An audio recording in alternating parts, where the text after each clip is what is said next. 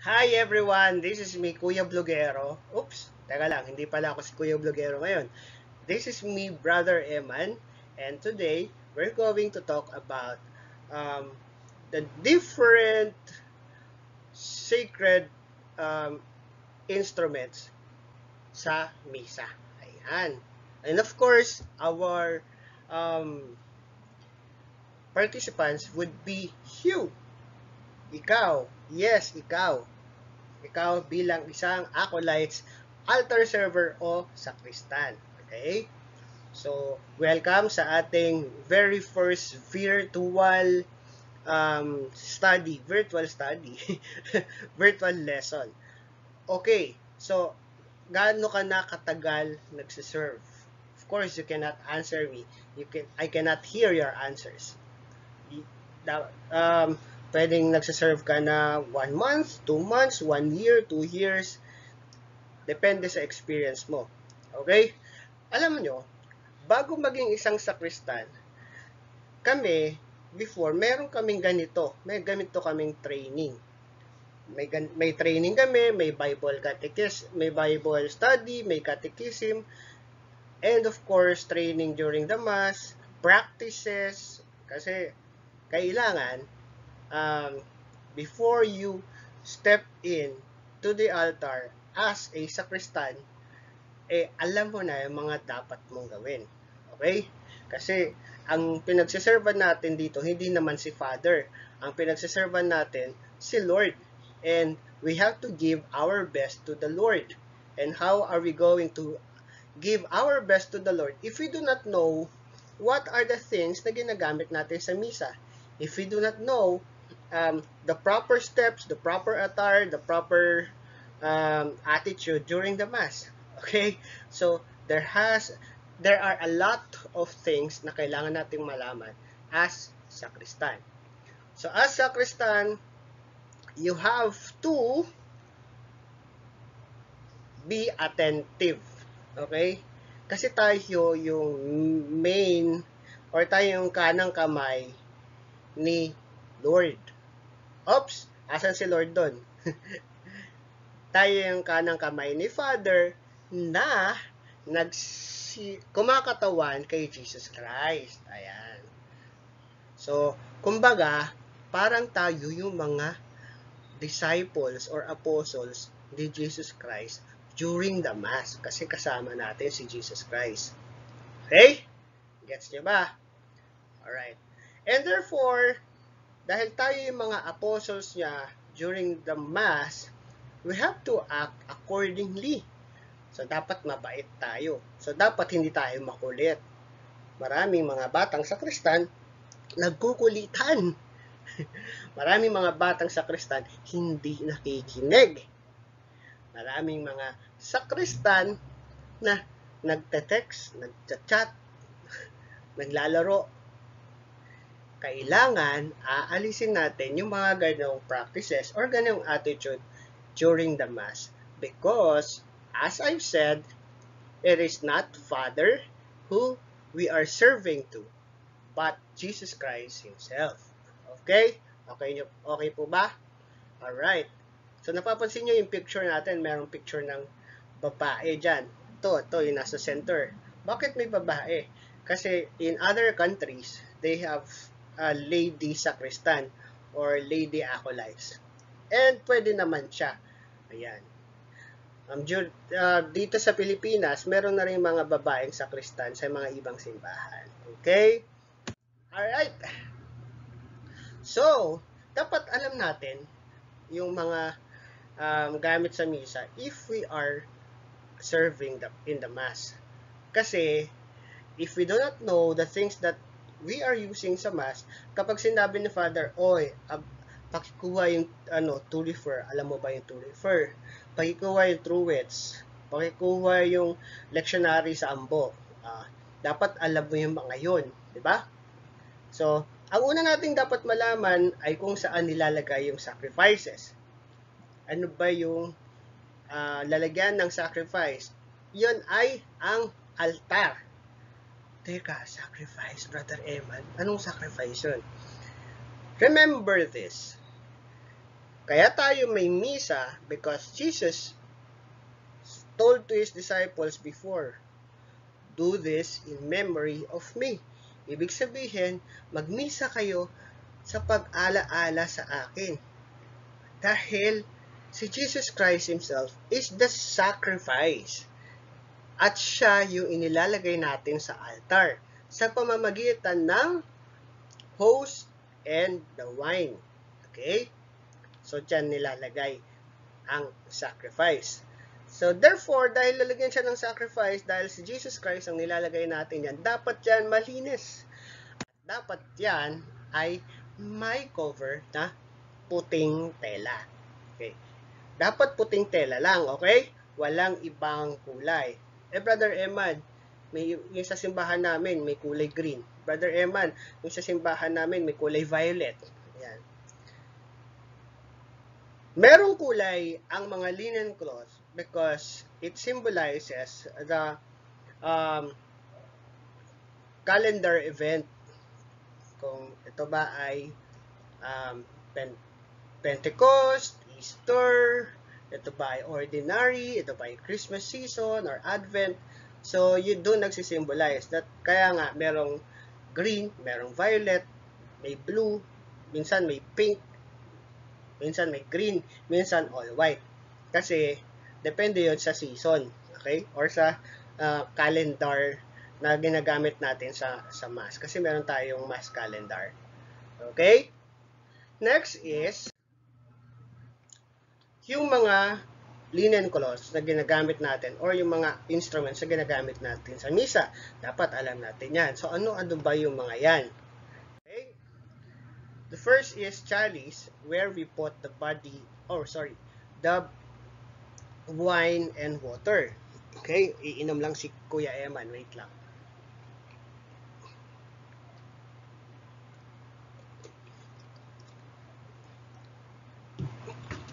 Diyan din natin um, diyan natin nilalagay as I said yung body and yung yung wine saka yung water. Sa ibang simbahan, si tay ang sakristan ang naglalagay ng water saka ng ng wine. Pero mo, sa ibang simbahan naman or sa atin sa, sa the feast si Father mismo ang naglalagay. Kaya para mas kontrolado ni Father. Pero either way are okay. Now, bakit mas marami yung yung blood saka yung water ay than the water because um, remember that the the wine and water symbolizes the blood of Christ. And sa, sa blood of Christ, ay sa blood natin, majority of course is the blood. Pero ang ang blood ay marong kaunting water substance. Ayan. Kaya meron talagang water na sinasama sa wine. Okay? Kasi ganun ang gina remember kapag blines na ni Father, nagiging nagiging blood of Christ na siya eh. Ayan. Oh, 'di ba may konting science tayo doon. Ayan. Next is the paten. Ayan. Dito pinapatong ang um, ostya na malaki or yung big host. Ayan, yung tinataas ni Father during the Mass. Okay. Next is Siborium. Ito po ay Siborium siya. Uh, kaya, yan. Siborium yan. Siborium. Okay? So, ito Siborium din to. Siborium din yan. Yan. Diyan natin inilalagay yung mga maliliit na ostya. Okay? Now, sa the feast, merong AM sa PM Mass. Kung sa AM Mass may natirang uh, ostya, ang gagawin natin or ng mga lay minister is ilalagay yung mga ostya sa loob ng siborium. Tatakpan ito, babalutin ng corporal, tapos ilalagay sa tube kung saan secured siya at mayroong kandila. Okay? Sa ibang simbahan, nilalagay ang ciborium sa loob ng tabernacle. Okay? Next is, kung hindi nyo alam, ang tawag dito, hindi po yan yung ginagamit sa mang inasal na lagay ng toyo, suka, saka chicken oil. Okay? ang tawag po dyan ay credence, oh sorry, ang tawag dyan ay cruets. Ayan. So, dyan natin nilalagay yung water and wine. Next is finger towel. Kapag sin, nagdasal na si Father na purify me, bla bla bla bla bla bla, ganyan, lalapit ang mga sakristan. Or pwedeng isa lang. Hawak, ah, dala niya yung bowl, yung pitcher, tapos yung finger towel dito sa left hand niya. Okay? Kung dalawa naman, yung isa tagahawak ng finger towel. Nakaganon siya. Ayan, nakalaylay dapat yung um, finger towel. Ayan. Anong kulay dapat ng finger towel? Dapat all white lang siya. Hindi pwedeng green, blue, white, violet, pink. Walang ibang kulay, kundi white. Kasi, again, pinupurify niya yung kamay ni Father dahil si, si Father ay mag susubo ng ostya or ng body of Christ na. Kaya pinupurify niya lahat ng um, kasalanan ni Father or lahat ng dumi nililinis niya. Ayan. Symbolical kasi yung paghuhugas ng kamay ng mga pare at ng mga lay minister during the Mass. Okay? Para mas maging, mas maging karapat dapat si Father o mga ngali minister na magsubo ng ostya, they have to cleanse their hands. They have also to cleanse their heart. Ayan, during the Mass. Kaya, kapag nagdadasal sila, meron din silang, or kapag naghuhugas sila ng kamay, meron silang dinadasal for them to be uh, the right one na magsubo ng ostya sa mga tao. Okay? Next is the monstrance. Ayan, napapansin nyo parang araw, di ba? Kasi si Jesus Christ, siya yung araw, siya yung liwanag, siya yung um, liwanag ng buhay. Ayan, sabi nga niya, I am the truth and the light. The way, the, I am the way, the truth, and the light. Okay? And the life dapat yun eh. Pero siya rin ang liwanag natin. At when Jesus Christ resurrected, at nung nakita siya ng mga uh, apostles niya, nila Magdalene din, nagliliwanag siya, nagniningning siya. Kasi siya ay Diyos. And therefore, ganyan yung design ng monstrance ang monstrance dapat nakasara. Why? Because the, the host is consecrated already that signifies the body of Christ and therefore walang ibang substance dapat na mahalo dyan. Ayan. Ganoon natin binibigyan ng halaga ang blessed or blessed Eucharist or Blessed Host. Ayan. Next is, kung hindi nyo alam, if you do not know uh, kung ano ang tawag sa table beside the altar, sa gilid ng altar, or sa gilid nyo bilang mga sakristan, hindi po yan ordinaryong table lang. Well, of course, kapag tinanggalan mo yan ng mga kung ano-ano, it seems to be ordinary table. Pero when there's a white linen already, when it is placed beside the altar, it is no longer ordinary table. And we are going to call that as credence table. Yan talaga kasi yung tawag sa kanya. Credence table. Okay? Diyan nilalagay yung mga gagamitin natin sa misa. Take note, that table is sacred. And therefore, walang ibang pwedeng ilagay dyan maliban sa mga gagamitin sa misa. So, if you have phones, if you have um, accessories na gusto mong alisin sa katawan mo, if you have bags, do not put that on top of the table or on the table because as I've said, that is sacred. Walang ibang pwedeng ilagay dyan. Maliban sa mga gamit sa misa. Okay? Next is the sanctuary. Ang tawag, di ba may altar? Ito, may kita nyo altar to. Altar yan, altar. Ang tawag sa buong area to, sa buong area na yan, ay sanctuary. Okay? Ang mga taong pwede lang tumungtong dyan ay yung mga servants. Sino-sino ba yung mga servants na yon? Kayo, mga acolytes or altar server or sakristan, the lectors, the readers, commentators, um, uh, lay ministers, priest, bishop, cardinal, yan. Of course, pope. Sila lang yung pwedeng tumungtong dyan.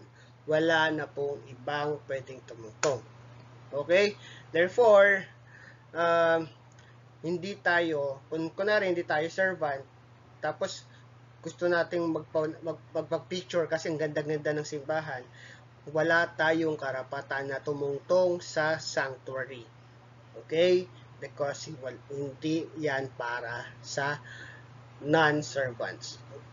Next is tabernacle. As I said earlier, ang tabernacle ay uh, lagayan ng mga sacred host. So, dapat may, dapat meron niyang ilaw kung merong laman. Yan, dapat nakasiti ang ilaw, ang candle, or ang sanctuary lamp. Pero kung wala namang laman, wala dapat sindi. Now, anong gagawin mo kapag may laman siya tapos napadaan ka dyan? we must always bow. Okay? Or or um, genuflect. Ayan, kasi magbibigay galang tayo sa uh, Diyos kasi si Lord yung nasa loob niyan. Okay?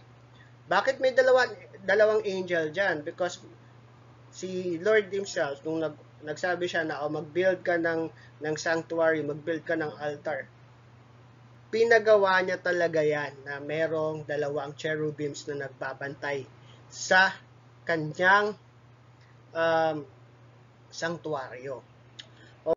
Next is um, altar rail. Oh, altar rail pala ang tawag dyan. Sa upuan ng mga tao, ang tawag doon kasi vein, sa upuan ng mga tao, sa pinakaharap, merong parang kneeler. Ayan. Pero akala nyo, kneeler yon. Pero, ang pinakatawag dyan is altar rail. Yan yung mag-separate or mag, uh, doon sa sanctuary at saka sa mga tao. Kaya nga merong ibang ano eh, merong mga ibang simbahan na meron ding rail sa mismong sanctuary. Ito, yan, teka lang. Lagyan natin ng kulay. Ito. Yan. Dahil, hindi sa, sabi ko nga kanina, hindi ka pwedeng tumungtong dyan kung hindi ka magsaserve. Dapat sila father lang, dapat yung mga servant lang ang tutungtong dyan. Okay? Yaan ay napaka-importante. Hindi rin po yan patungan, hindi yan upuan, hindi yan patungan ng um, tripod mo para makapagpa-selfie ka. Blessed or sacred din po ang bawat altar rails. Alright? Next, ambo. Sa ambo, nilalagay yung lectionary. Okay. Diyan din pinapatong ni Father yung gospel book kung saan siya nagbabasa ng gospel bago siya magbigay ng homily. Ayan. So, ang tawag dyan ay ambo. Hindi po yan walis ambo. Okay? Ambo. Next is, ang tawag po dito ay Roman Misal. Okay? Tingnan ko kung makakapagsulat ako dito. Dapat ang tawag dyan ay, siyempre hindi ako makapagsulat. Roman Misal. Ayan. Basta ayan. RM. Roman Misal. Okay. Sa Roman Misal, nakalagay yung mga binabasang dasal ni Father or yung mga dinadasal ni Father. Yon ay formula ng isang misa. Ayan. Ang bawat letrang nakalagay dyan ay sagrado at ang bawat letrang nakalagay dyan ay siya ring letra or siya ring mga salita na ginagamit ni Pope sa Roma. The same book that we that ang Roman Missal ay katulad ng librong binabasa ni, ng mga pope or mga pare sa Roma. Ayan. Ayan, kaya nga tinatawag na ano yan, na na universal kasi lahat ng simbahang katoliko yan ang gamit, yung Roman Missal na iyan. Okay? Napakahalaga po niyan. Next po ay ito, ito pa yung ito pa yung Roman Missal yan. Yan, yan yung isang um, picture. Meron yung lectionary, wag kayong malilito ah kasi merong ano eh, merong mga symbols talaga siya. Pero sa gilid naman, may nakalagay naman kung ano siya. Ito. Yan, nakalagay naman siya. Ngayon, yung lectionary sa Roman Missal, merong mga ganito. Merong mga lace, mga bookmarks. Yung bookmarks na yan, merong ding mga kulay na red, green, blue, violet, white, pink. Kasi ah, depende rin yan sa uh, kung ano yung season. Ayan, na ng calendar. Okay?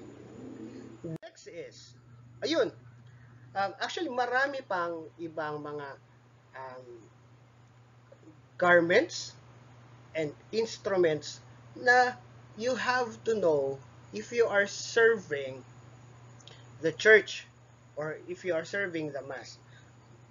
But ano ba yung mga inuna natin ay yung mga dapat yung unang-unang malaman if you are going to serve in the Mass.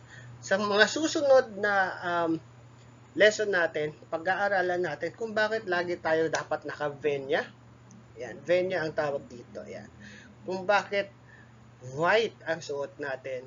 Kung, kung ano yung tawag sa mga sinusuot natin at kung ano yung tawag sa mga sinusuot ni Father. Ayan. So, maraming maraming salamat sa pakikinig. This has been Brother Eman saying thank you so much. God bless you.